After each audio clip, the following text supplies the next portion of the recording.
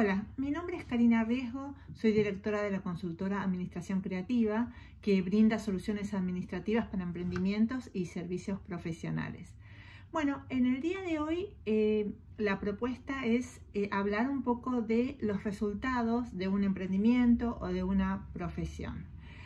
Eh, a lo largo de todos estos años de mi vida profesional em, me he encontrado con un montón de emprendedores, de, empresas, de profesionales que al momento de preguntar, bueno, ¿cuáles son tus resultados? ¿Estás en, en, la franja de las ganancias? ¿Estás en las franjas de las pérdidas? ¿O directamente en, digamos, en una franja neutra cero, que básicamente sería casi imposible que esto sucediera, pero bueno, tenemos que también tomarlo como una opción.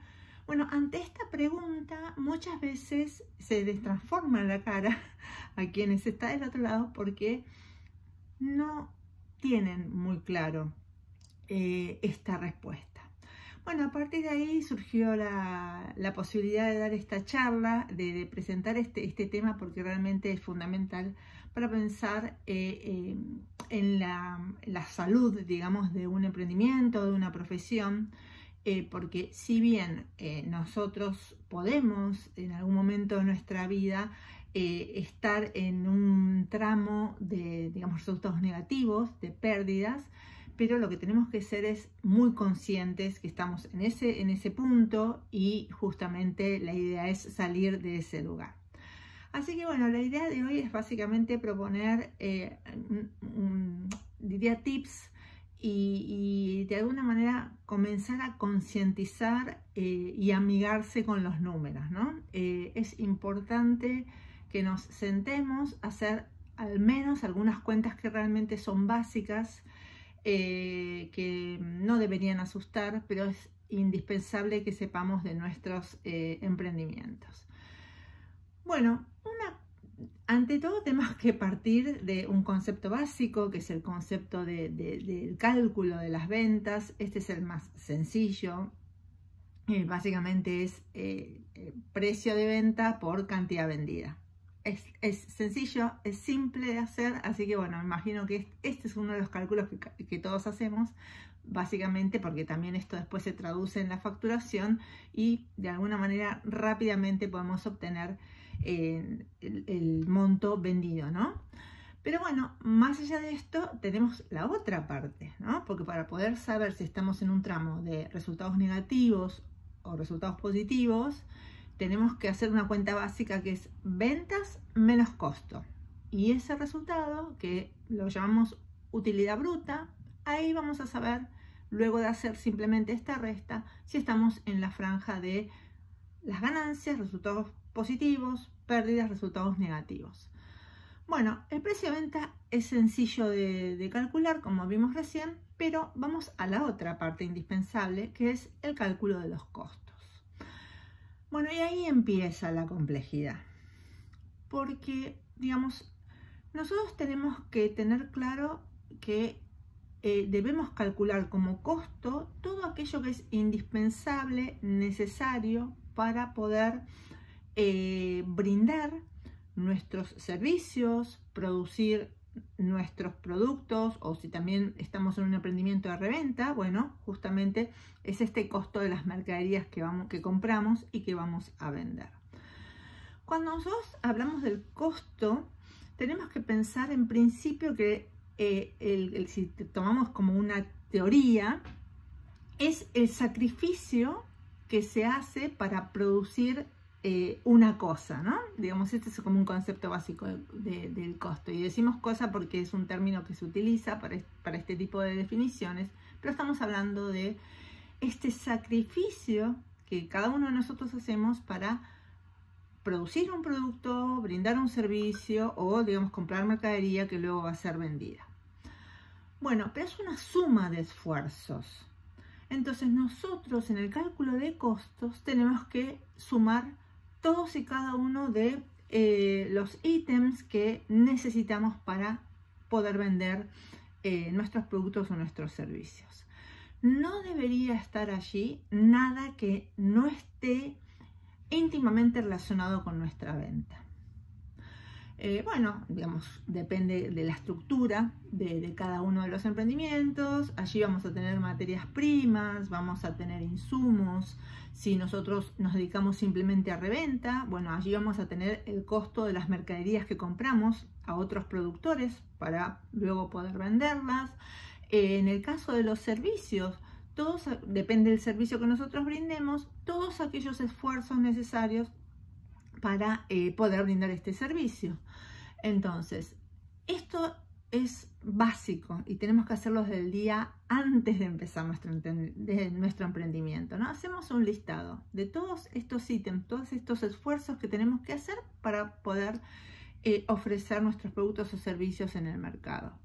Bueno, una vez que tenemos toda esta lista, obviamente tenemos que valorizarla, recordemos que si estamos en un contexto como digamos en este caso en Argentina en este momento y bueno y también el mundo que hay eh, una inflación incipiente en muchos casos pero bueno nosotros por ejemplo aquí que yo les hablo desde Argentina estamos en una situación de una inflación muy elevada nosotros estos costos tenemos que tenerlos actualizados permanentemente Así que eh, tenemos que, ser muy rigurosos con esta actualización porque si no estaríamos teniendo un problema con el cálculo de nuestros precios de venta.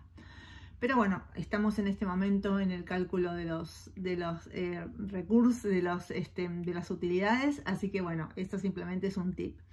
Bueno, nosotros tenemos el precio de venta, toda la sumatoria de estos costos y tenemos un resultado, ventas menos costos, resultado. A este resultado nosotros contablemente se llama utilidad bruta. No sabemos si es ganancia o pérdida, tenemos que hacer la cuenta. Una vez que hacemos esa cuenta, si esta cuenta nos da positivo, vamos a estar en, en, la franja de las ganancias y si nos da negativo vamos a estar en pérdidas.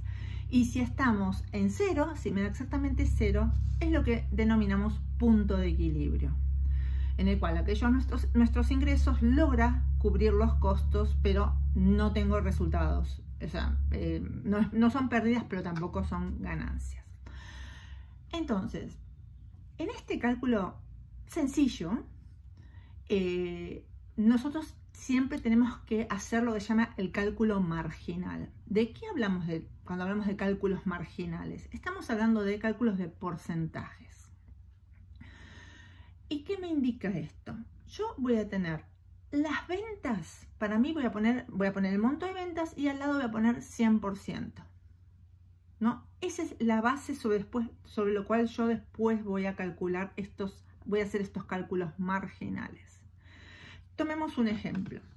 Yo tengo eh, ventas 100, tengo costos de mercaderías vendidas o costos de servicios 40 pesos y hago esta resta, 100 pesos menos 40, pesos me da 60 esa resta, ¿no? Eh, mi utilidad bruta es 60 pesos. Estoy en el, en el rango de las ganancias afortunadamente. Bueno, ¿cómo saco el margen, el margen de utilidad bruta? Para saber rápidamente si estoy en, en la franja de las pérdidas o de las ganancias. Esta también es una cuenta muy sencilla tomo el valor que me da la utilidad bruta y lo divido por el monto que me da las ventas. En este caso, la cuenta, recordemos que era 100 pesos de venta, 40 pesos de costo, la utilidad bruta me daba 60. En este caso, para hacer el, cálculo marginal de mi utilidad bruta, es 60 dividido 100 esta cuenta me da 0.6. 0.6 si lo multiplico por 100 me da 60%. Yo acá ya estoy armando el, tramo de los porcentuales. ¿Qué significa este 60%? Significa que mi margen de ganancias en la utilidad bruta es del 60%. Y por ahí ustedes me dirán, ¿por qué necesito saber eso? ¿Es, ¿Es tan importante? Es muy importante porque primero descubrí si estoy dentro del rango de las ganancias, de los resultados positivos. Y segundo, hablar en términos marginales, en el término de los porcentajes, a mí lo que me permite saber es en el momento exacto de la venta cuánto gané. ¿Esto qué significa? Que si en este caso, si mi utilidad bruta me da un margen del 60%, yo sé que cada vez que venda algo, el 60% ya es una utilidad bruta. Entonces, multiplico mis ventas por el 60% y rápidamente voy a obtener este resultado. Esto, por supuesto, después me va a generar, eh, me va a dar datos muy importantes para luego tomas de decisiones. Pero bueno, ven que es un cálculo sencillo de hacer. Es muy importante que en los costos ustedes eh, pongan todo aquello necesario e indispensable para que nuestra propuesta de valor, aquello que nosotros llevamos al mercado, eh, eh, obviamente no pierda ninguna de las características que nosotros queremos, ¿no? Calidad, servicio o, lo que fuere. Y bueno, y allí tenemos la utilidad marginal, en este caso del 60%. Pero vamos a continuar un poquito más. Digamos, esto, este cálculo que hicimos, sencillo, ventas menos costos, utilidad bruta, me va a dar mis números de la operatoria, la operatoria básica. Pero en realidad nosotros, y todos sabemos que tenemos otros ingresos y otros egresos. O sea, por ejemplo, vamos a tener, eh, no sé, si, si tenemos intereses perdidos, comisiones perdidas, podemos tener comisiones ganadas, vamos a tener por ahí gastos generales, gastos de administración, ingresos financieros. Bueno, vamos a tener otros ingresos y otros egresos que están conectados con la actividad principal, pero no es la indispensable para mi operatoria. Bueno, entonces yo voy a tener ventas menos costos, utilidad bruta, voy a sumar todos los ingresos, todos los otros ingresos, voy a restar todos mis otros egresos y voy a tener una, lo que se llama una utilidad neta. Ahí sí ya tomé absolutamente todo, todo, todo lo que yo necesito eh, para la operatoria de mi emprendimiento. Bueno, y lo mismo, yo puedo, lo que, la, idea justamente es que ustedes aprendan a hacer todas las mediciones marginales, ¿no? Entonces, yo voy a ir dividiendo estos distintos ítems sobre el 100%, ¿no? Que era mi venta. Entonces, no sé, por ejemplo, yo voy a tomar el total de todos mis ingresos y de mis otros ingresos y mis otros egresos. Supongamos que todo eso me da 15 pesos en el ejemplo que recién les di. Entonces voy a dividir 15 pesos dividido 100 pesos, que era ventas. Entonces eso me va a dar 15%. ¿Qué me va a decir esto? Que mis otros ingresos y mis otros egresos representan el 15% de mis ventas. Y yo allí voy a seguir haciendo cuentas y voy a tener la utilidad neta. Imaginemos en este caso, yo tenía 100 pesos de venta, 40 pesos de costo de mercadería vendida. Esto me da 60 de utilidad marginal.